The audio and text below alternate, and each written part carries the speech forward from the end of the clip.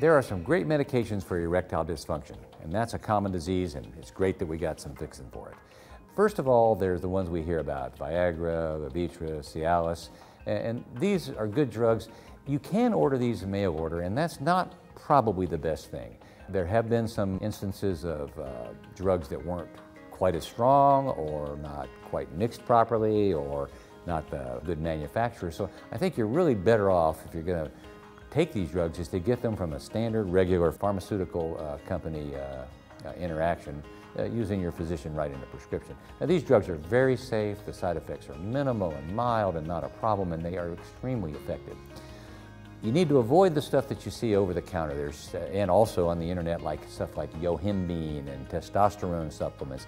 Uh, if it's too good to be true, then it's too good to be true. Stick with the, the erectile dysfunction drugs we have, and there's three, four, five, or six, and there'll be more in the future, and you'll, uh, you'll feel a lot better about yourself.